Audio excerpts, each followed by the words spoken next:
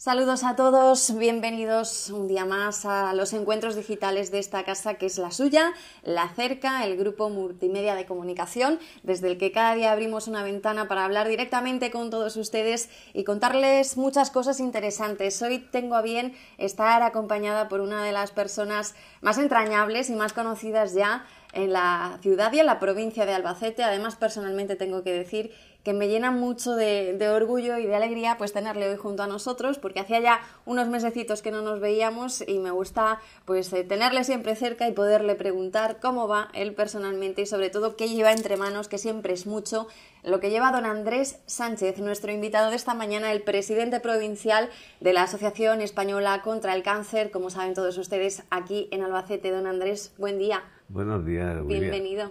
Mire, yo la verdad que me da muchísima alegría el que una vez más coincidíamos en una mesa de entrevista. Vaya que porque verdaderamente es muy agradable el ser entrevistado por ti, porque nos conoces perfectamente, porque sabes de qué va y cuando preguntas algo es porque tienes una idea exacta de lo que estás preguntando.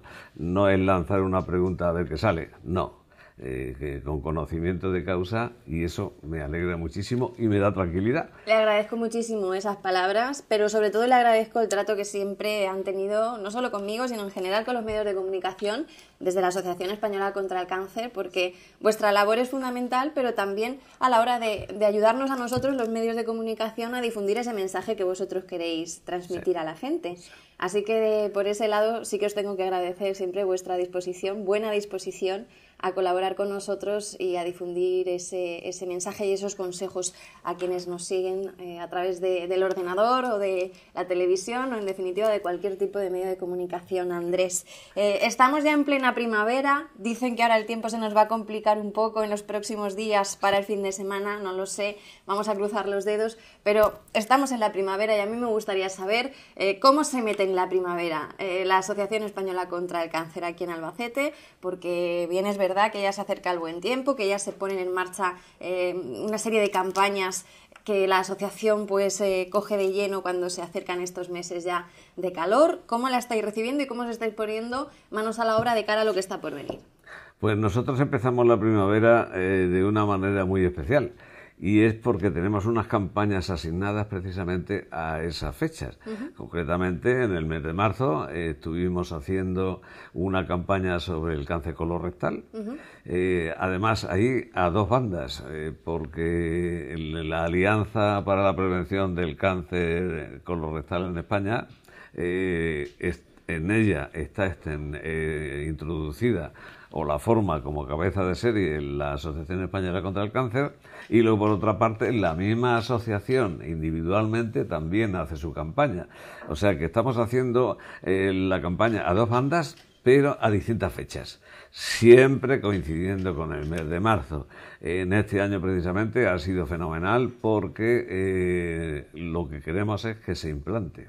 Queremos que la Consejería de Sanidad y Bienestar Social, con la cual yo ya tengo contactos hace tiempo, implante el cribado de cáncer de colon mediante la muestra de detección de sangre oculta en heces, eh, que ya son 12 las autonomías que lo tienen puesto en marcha. se había hecho además una recogida de firmas ¿no? ciudadanas. Entonces, ¿qué hicimos? Para, este como la eh, Castilla-La Mancha no se, no se lanza, pues entonces eh, hicimos una campaña de recogida de firmas. La primera campaña, que hace un par de meses, eh, sacamos 15.500 firmas de la provincia. Pero es que ahora ya me han adjudicado también la región y resulta de que eh, las demás provincias les he empujado para que hagan porque la primera etapa no fue satisfactoria. Bueno, pues entonces se han hecho otras nueve mil y pico firmas más. Quiere decirse de que la, la autonomía, la consejería, que quiere, que quiere, pero no lo hace, el ponerlo en marcha, vamos a tener que presentarle la factura de 500.000 firmas, que son, con esas 500.000 firmas a nivel nacional, se obliga a todas las autonomías a poner en marcha este programa. Ya estuve hablando con el viceconsejero el otro día y efectivamente ellos están en hacerlo. Lo que pasa es que quieren dar una serie de pasos que, claro, esos pasos pueden ir a un, a un tiempo que nosotros no queremos porque claro, mientras tanto la gente se muere de cáncer de colon. Los casos que se van produciendo eh, cada día son más y entonces si la población no la encarrilamos, eh, podemos encontrarnos que el cáncer de colon se puede elevar. Hay que tener en cuenta que es la primera causa de muerte. En, eh, el mundo. la primera causa de muerte por encima del cáncer de mama, que siempre hemos dicho, ojo con el cáncer de mama, que va cáncer de mama le afecta solamente a la mujer, pero este le afecta a la mujer y al hombre. Luego, claro, como son más personas a, que les llegue la enfermedad, pues lógicamente tiene que eh, aumenta. Y entonces tenemos que conseguir que ese, ese programa se implante y se implante, pero bueno, se implante de una manera racional, que no se trata de decir, bueno, pues cuántos habitantes tiene, claro, cuántos habitantes tiene la región, ¡buah! Nos lanzamos a todos. Además, Andrés, que eh, siempre has venido comentando que, se trata de una prueba que, económicamente eh, es muy asequible, apenas eh, cuesta, dos euros. Exacto, cuesta dos euros. dos euros. Claro. Entonces, ¿qué te dice así el consejero de tú a tú? ¿Qué te dice para dilatar esto tanto en el tiempo? claro, pero es que más, más, más, de dos, esos dos euros que cuesta la prueba, nos vamos a que si no se hace y se contrae la enfermedad, para curar al paciente son 6.700 euros lo que cuesta el tratamiento. Pero, además de la repercusión social que tiene en la familia del paciente. Pero que claro, si nosotros con esos 3 euros además conseguimos detectarlo, pues entonces con una triste colonoscopia triste entre comillas, no, no quiero ser peyorativo en ningún momento. Lo que sí quiero decir es que con muy poquito conseguimos que el 90% de aquellos que se detectan lo curemos, porque está en fase inicial.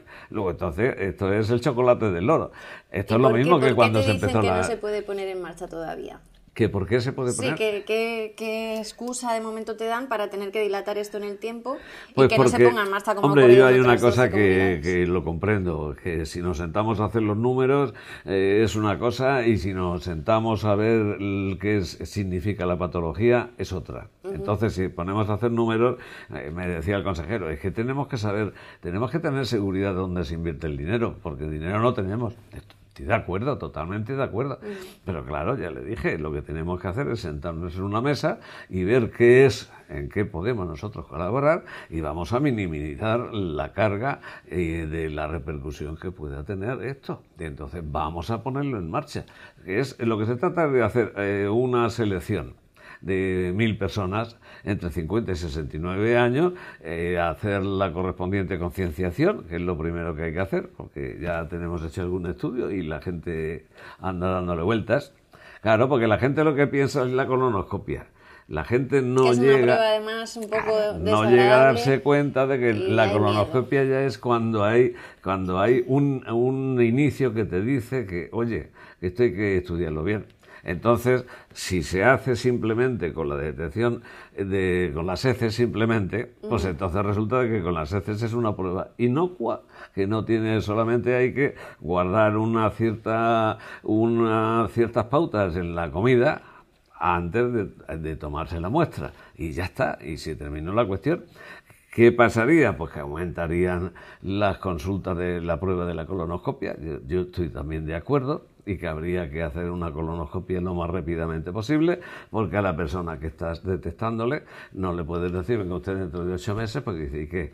Mientras tanto, ocho meses con la preocupación de que tengo, ahí. Claro, y entonces por eso mismo es por lo que lleva una serie de cosas que tenemos que sentarnos, que tenemos que estudiarlas y que tenemos que encauzarlas racionalmente. Vamos a estudiar mil personas, a ver cómo reaccionan. En los primeros estudios que tenemos dicen que los hombres no queremos pasar por la, por la prueba es siempre el hombre mucho más cobarde que la mujer en estos sentidos. Lo ha dicho usted, yo no lo he dicho. Eso es así. Eso nos, pasó, nos pasa igual con la próstata y la próstata es igual que la mama para la mujer, la próstata para el hombre. Y entonces al hombre hay que mentalizarlo de que hay que ir allí, que tenemos que saber cómo está, hay que diagnosticarlo A partir de los 50 años, la mayor parte de los cánceres, eh, las personas tienen que, tienen que estar pendientes de cómo anda su salud, porque es donde empieza la variación. Y entonces, pues a partir de 50 años vamos a hacer la, la, prueba y vamos a hacer, vamos a seguir adelante.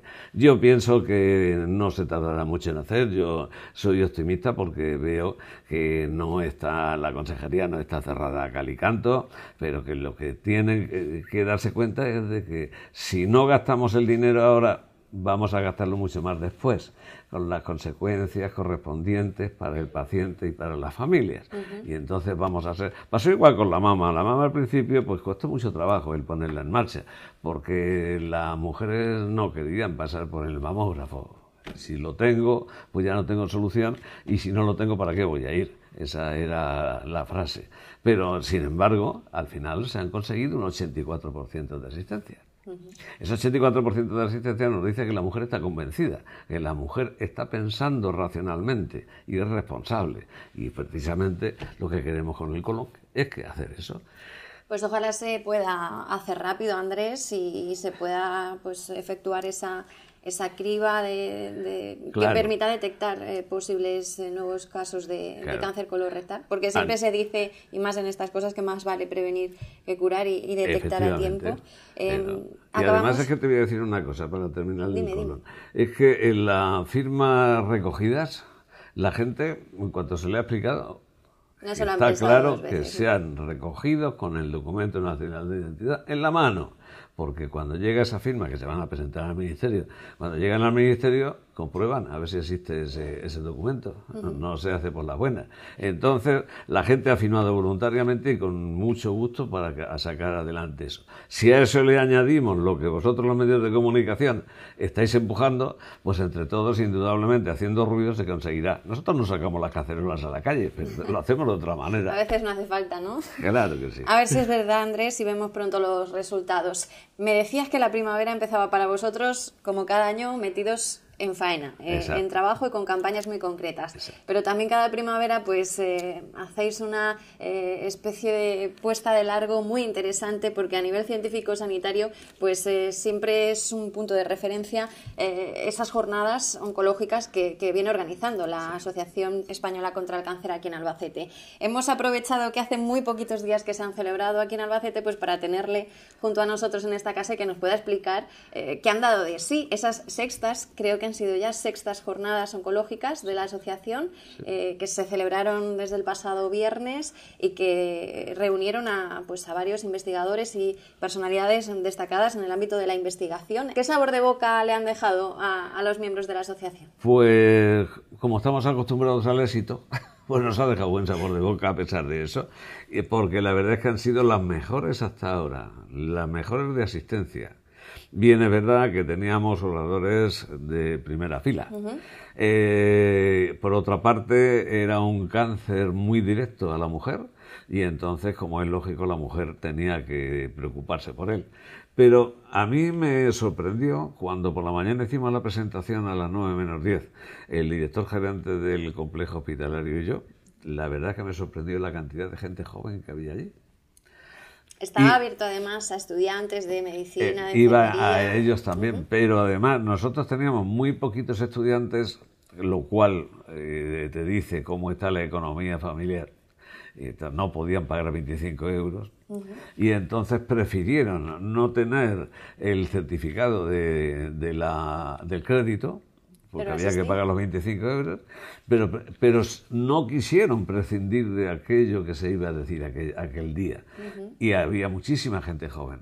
La mujer, a mí me hubiera gustado que hubiera asistido más mujeres de las que asistieron, porque eh, la gente piensa de que estas jornadas se explican científicamente que se utiliza un idioma científico, un idioma técnico, nada más lejos, nada más lejos porque las personas que vienen a dictar sus ponencias no están utilizando el, el idioma científico ni ese idioma que la gente no entiende, al contrario, bajan el nivel para que diciendo lo mismo se entienda muchísimo mejor y a la gente también se le se consiga que esté a gusto en aquella jornada. Prueba evidente de que la sala, que cabe 200 personas, estuvo durante todo el día entre 150 200, 150 200. Y claro, eso te llena de, de, sabor agradable y te da ánimos para que cuando yo clausure por la tarde la jornada, desde las 9 de la mañana hasta las 9 de la noche, mucho tiempo. Sí, hay tiempo para hablar de, muchas cosas. Ya muchas veces a lo mejor ya no saben ni lo que dices, pero que de verdad que fue mucho tiempo. Entonces yo les dije, bueno, pues hasta el año que viene, en las séptimas jornadas. No puedo decir de qué vamos a tratar, porque claro, indudablemente ya tenemos tratados los principales temas, los tenemos tratados, pero todavía hay alguien por ahí que me está hablando de la leucemia y de la leucemia junto con el cáncer infantil. Yo el cáncer infantil le tengo un cariño especial, de verdad, y por eso mismo es por lo que estamos dudando qué vamos a hacer el año que viene. Pero que ya hay preparadas personas que quieren formar parte del comité organizador. Y eso a mí me encanta porque veo que hay alguien detrás que quiere estar también en la jornada, que quiere participar, que quiere que sigan esas jornadas. Hay un interés especial.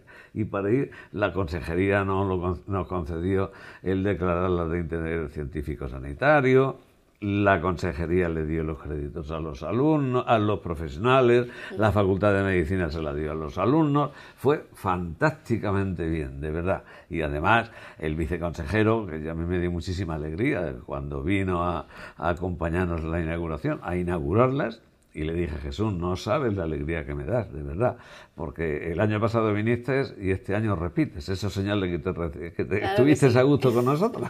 Dice, pues sí que es verdad. Y entonces luego después ves la cantidad de personalidades que estuvieron con nosotros, no por aquello de ser personalidades, por la, la altura, no, es que son científicos como la copa de un pino. Y no quiero destacar a ninguno por no, porque nadie se sienta, se sienta ofendido de decir, hombre, mira, yo ahí se ve que no se fijaron en mí, no cuento. Sí cuentan, cuentan todos, cuentan todos porque todos lo hicieron fenomenalmente bien.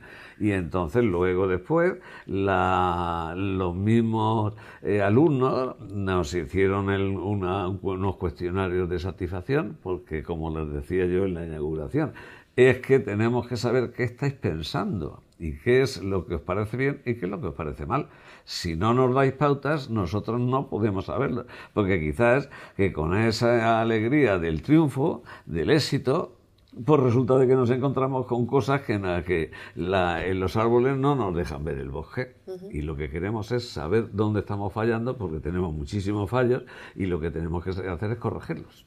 Por supuesto que sí. Andrés, me decías que, prácticamente ya teníais tocado eh, todo el abanico de posibilidades eh, temáticas de estas jornadas. Lamentablemente hay muchas, muchas que tocar. Eh, ojalá hubiera menos temas que tocar en relación contra el cáncer, pero este año habíais escogido el cáncer ginecológico. ¿Por qué empezasteis a trabajar en este, en este área, en este campo del cáncer? Y sobre todo, pues, ¿qué os movió a decir este año queremos hablar de ello? Porque, en primer lugar, eh, las personas que nos estaban acompañando en el comité organizador eh, eran eh, partidarias del cáncer ginecológico. A la mujer no le habíamos dedicado nada específicamente a ellas.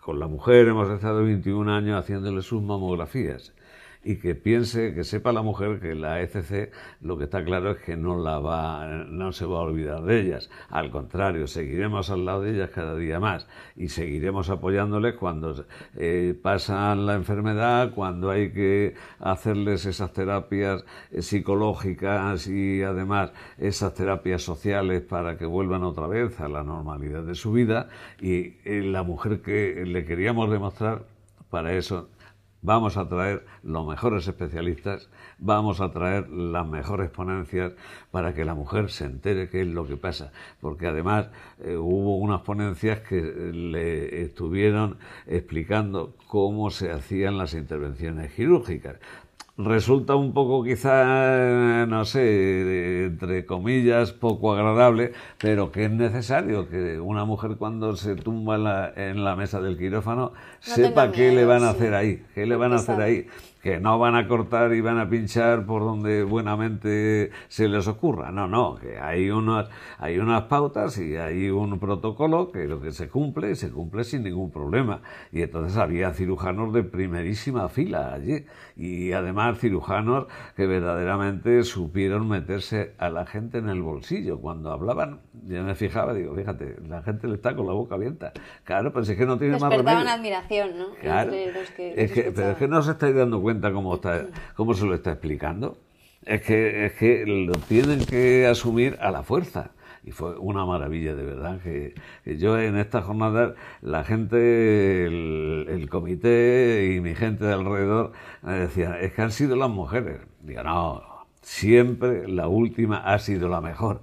Pero si tú analizáis un poco, os daréis cuenta cómo eh, cada año son las mejores. Lo bueno es ir superándose, ¿no? claro, y además es que vas adquiriendo eh, ya experiencia, vas contando con muchísima gente, sobre todo los medios de comunicación, que nos apoyan tantísimo. la, la, rueda de prensa que hicimos antes de la inauguración fue eh, fabulosa porque había cantidad de medios y, luego después se hizo una difusión importante.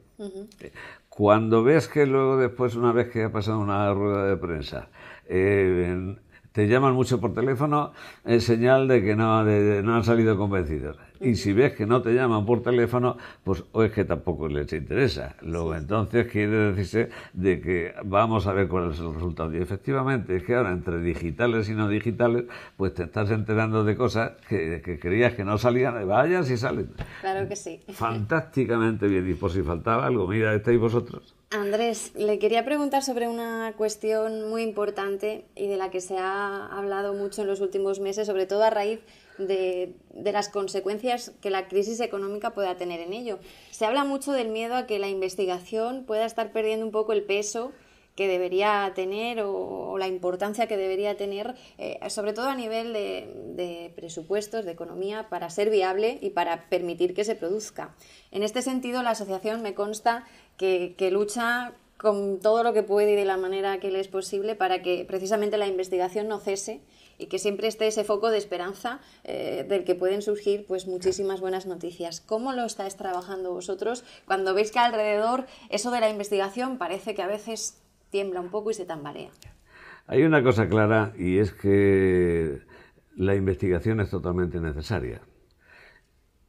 En estas jornadas, en la, en la conferencia de clausura, que la adelantamos por motivos de desplazamiento del ponente, se trató el tema. Se trató el tema y se decía que un país sin investigación es un, un país condenado al fracaso.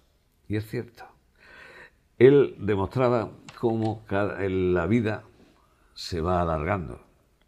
Están apareciendo enfermedades que antes no existían y concretamente el cáncer está aumentando de volumen y de patologías.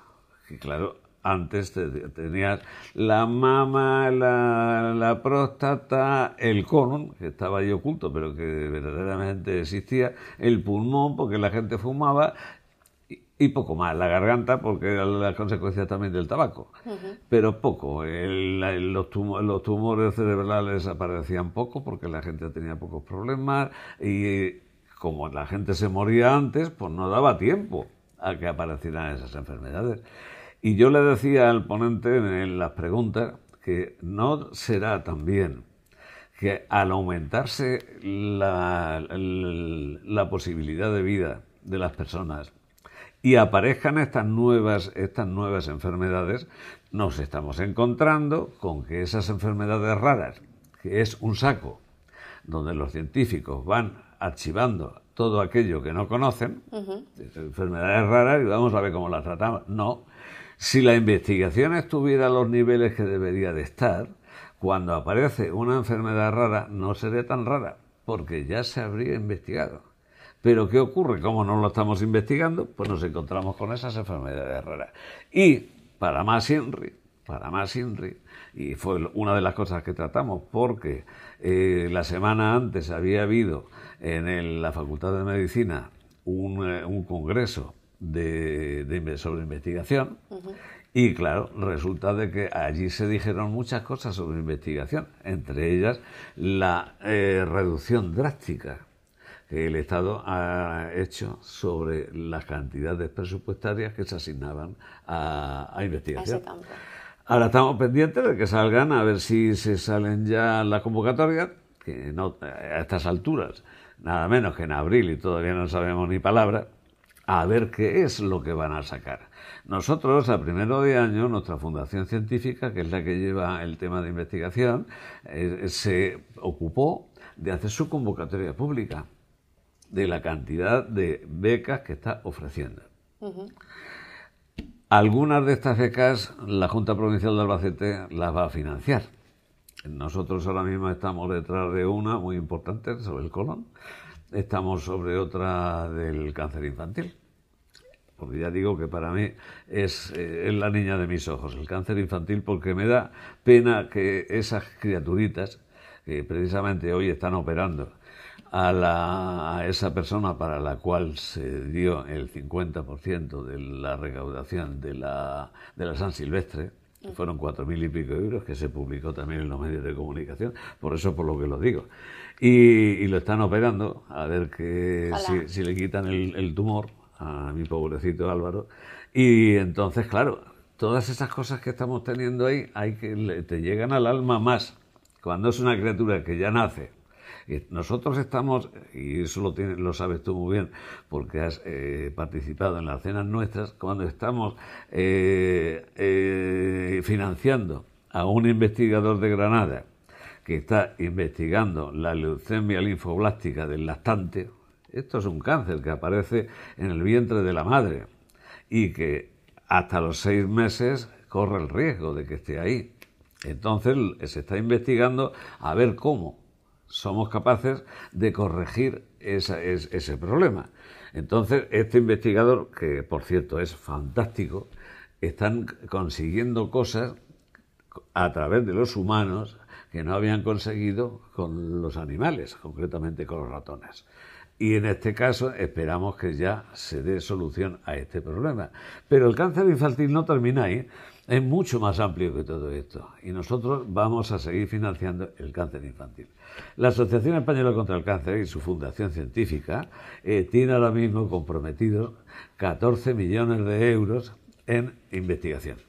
O sea, son eh, contratos que le hacen a los, eh, a los investigadores a desarrollar en tres o cinco años distintos, distintos plazos. Entonces, eh, tiene 14 millones de euros. Ninguna, ninguna, ni el Estado siquiera, el que invierte en investigación, alcanza esas cantidades. La verdad es que es lamentable. Es lamentable que una institución privada que recoge el dinero. para la institución pública, pero digno de alabar para, para vosotros. Claro, que además la, que la asociación está recogiendo dinero de los demás para invertirlo en investigación.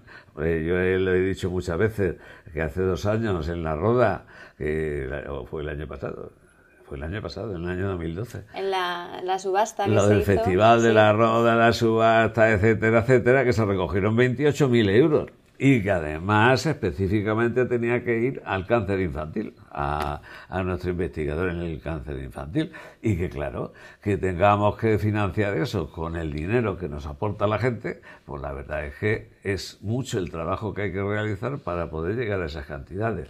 Y los investigadores cobran, no cobran tanto como deberían de cobrar, pero a pesar de eso cobran caro. Y es que es natural que tiene que ser así, porque son muchas horas pegadas al microscopio y a los ensayos, y además el que lo, la investigación básica eh, no tiene nada que ver con la clínica, etcétera, etcétera. Y entonces aquí nosotros estamos financiando ahora mismo una media de 300.000 euros anuales. 300.000 euros para una junta provincial es mucho dinero. Y claro, eh, todo eso cuesta. Y cuando ves que quien verdaderamente tiene que dar la cara y verdaderamente tiene que aportar, se echa para atrás, pues dice, ¿qué hacemos? Pero que claro, que nuestra misión es la que tenemos y tenemos que cumplirla. Si no, lo mejor es cerrar el chiriquito y marcharse a casa. Eso nunca. Eso nunca. El tiempo lo dirá. Has mencionado antes al pequeño Álvaro, al que yo también le tengo un cariño muy especial. Y, aprovechando que lo has sacado en la conversación y que hoy es ese día tan importante, pues sí que quiero mandar un saludo especial a, su familia al completo, que, son todos maravillosos, pero, pero significativamente a él. Y yo creo que sí, que entre todos vamos a, vamos a conseguir, por lo menos con nuestros ánimos y, y nuestras buenas vibraciones. Está en el buen camino. Que, que, salga adelante porque se lo merece. Claro que sí, está en el buen camino porque además es que hay, hay mucha gente que lo está apoyando. Mucha. Claro. Verdaderamente. fuésemos más. Sí, pero... es que también es importante que se sepa movilizar y concienciar. Si se hace una buena difusión, si se moviliza bien a la gente y se conciencia a la gente de que está ahí y de que también te puede tocar a ti, eso, es fundamental, sí. Claro, eso hay que procurar eh, ser sensibles y lo que hay que procurar es llegarle al conocimiento de la gente y hacerlas eh, verdaderamente que se, esa conciencia eh, de vez en cuando vibre y que diga, no, yo es que tengo que meter el hombro también. Porque claro, cuando vas con las huchas y dices, mira, pues estamos, estamos nos están entregando un euro y otro euro y otro, y yo le digo siempre, ojo, ese euro se suma a otro y a otro y a otro y la cantidad va creciendo. Luego, ese euro, considerarlo, no se desprecie nunca porque verdaderamente nos va a hacer falta. Y es así, nos hace falta.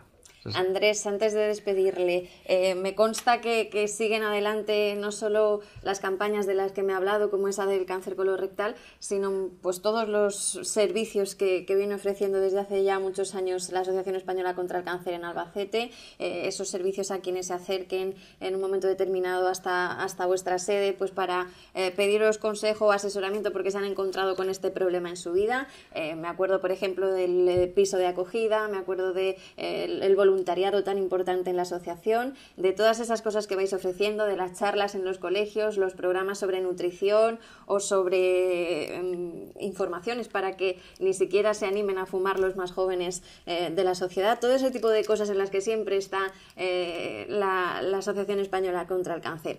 Eh, me consta que todo eso sigue siendo posible porque siempre has presumido de intentar llevar las cuentas lo mejor que se puede y lo más claramente posible, a pesar de que las cosas se pongan tan difíciles como se han puesto. Y hemos visto el caso de otras asociaciones sociosanitarias que, que verdaderamente eh, lo han pasado y lo están pasando muy mal, hasta el punto de, no saber si siquiera si podían seguir adelante. Eh, ¿Cuándo ves tú que, que la cosa va a empezar a remontar de verdad, económicamente hablando? Es que todo esto va unido al crecimiento de la economía o al cambio de ciclo de la economía. Y entonces, si verdaderamente la economía se consigue que en el año 2014, que según se va diciendo por ahí, cambie, pues entonces todo será más fácil, porque indudablemente es que te da no sé qué acercarte a una persona a pedirle cuando sabes eh, las circunstancias en general que estamos viviendo. Entonces, claro, esa persona si te dice no, está totalmente justificado ese no. Sin embargo, cuando las cosas mejoran, las cosas van por otros caminos y te acercas a pedirle a una persona, lo haces con más libertad, con más tranquilidad y si quieres hasta presionando un poco. Nosotros este año cumplimos el 60 aniversario de la fundación de la asociación. Vamos a cambiar de aquí a septiembre eh, los hábitos de las actividades no es que vayamos a hacer actividades diferentes, lo que pasa es que lo vamos a hacer con otro lenguaje y con otros sistemas, para que se vaya ya apreciando que estamos cambiando. ¿Qué ocurre? El 60 aniversario será una concentración en Madrid de toda la asociación. Eh, aprovecharemos allí a entregar las becas de investigación a los investigadores. Este acto siempre se ha hecho en una capital distinta. Este año va a ser Madrid y además también en presencia de nuestra presidenta de, honor, la princesa de Asturias, efectivamente. Y entonces ella está muy cercana, muy cercana a nosotros, o sea, cualquier cosa que se hace, ella lo preside, ella tiene un verdadero amor por la asociación. Ella es sensible a lo que es la enfermedad que es, lo, mejor que puede tener una persona que esté en esta casa. Y entonces vamos a hacer eh, una serie de actos que ya os iremos comunicando con el fin de que estéis de nuestra parte, nos estéis cerca de nosotros porque necesitamos siempre ese apoyo de los medios de comunicación. Pero verdaderamente eh, la asociación, esos voluntarios, que es los que queremos llevar a Madrid para hacer las distinciones correspondientes a esos voluntarios. Esos voluntarios que están tan cercanos a nosotros que a pesar de que las circunstancias de actividades hayan cambiado y tal, de todas las maneras, ellos siguen cumpliendo con su turno, tanto en el hospital donde se acercan al paciente, a esa persona que la ven un poco cabizbaja en la sala de espera de tratamiento y que luego después pasa a recibir el tratamiento, se van con ellos a darles conversación allí al lado de, donde están en el, en el sillón y están recibiendo el tratamiento. Eso es una maravilla. Que ves que le dices que usted quiere un café, usted quiere una infusión tenemos allí galletas y tenemos de todo. Claro, eso es fantástico. Y en la, y en la, en radioterapia exactamente lo mismo. Y si es en las habitaciones, cuando suben a hacerles la visita, porque, porque requieren los servicios del voluntariado, pues igual. Por la tarde la sala de la sala que tienen en la planta quinta, donde hacen manualidades y entretienen a los pacientes y los sacan de las cuatro paredes de la habitación, eso es fantástico. Y todo eso. Y luego, como has dicho tú muy bien, el piso de acogida. El piso de acogida es la guinda de la tarta, unida a la investigación. Eso, eso, claro, es una cosa que es una labor que se hace, que solamente la percibe quien la recibe, pero que verdaderamente está ahí. Es muy importante para muchas familias. Es muy importante y sobre todo en estas circunstancias en que la gente económicamente anda fastidiada y que te dice, venga, no te preocupes, está, o está allí junto a la, a la cama del paciente, que lo ves que está agotado de no dormir, y le dice el voluntario, vete al piso, descansa, aséate y si quieres hacerte algo de comida te lo haces, pues si no tiene un restaurante cerca y yo mientras tanto me quedo con él. Y se acabó, y ya está, así, así de fácil, vamos, eso es algo fantástico. Por eso digo que son tantas las cosas que eh, me decían el otro día gente de la propia asociación, Albacete no sabe lo que hacemos. Y eso me impactó. Digo, pues mira que si después de lo... Pues muchas veces están metidos en la dinámica diaria y no te das cuenta. Sí se sabe, aunque quizá no, no, en las dimensiones reales en las que se hace. yo, yo creo que sí sabe la Albacete que las cosas que hacemos porque además vosotros os encargáis de, ayudarnos a, difundirlas. Que sepan que cuando tienen que recibir una ayuda psicológica, allí tienen dos psicólogas fantásticas, que cuando tienen problemas con tabaquismo, allí tienen eh, la, psicóloga la unidad de tabaquismo. Si es que hay cantidad de ayudas que se les puede, que se le están haciendo diariamente y que verdaderamente son, son beneficiarios que no hacen nada más que el aportar su cuerpo, su mente, sus circunstancias, qué es lo que está viviendo para que les puedan ayudar y puedan seguir adelante con una normalización de su vida. Ojalá, Andrés, podáis seguir mucho tiempo adelante con todas esas cosas y más. Decías que a ver si en 2014 mejoraba la economía, pues a ver si puede ser antes incluso. Y enhorabuena sobre todo por el éxito de esas sextas jornadas oncológicas que tenían lugar la semana pasada, porque, porque me consta que, el trabajo es arduo para que tengan forma y, y os merecéis ese agradecimiento. Muchas gracias, Miriam. Gracias a usted por acompañarnos y nos vemos muy pronto. ¿eh? Cuando queráis, ya sabéis dónde me tenéis. Le seguimos por aquí, por Albacete. Encantado. Andrés Sánchez, ya lo conocen de sobra a todos ustedes, el presidente provincial de la Asociación Española contra el Cáncer en Albacete.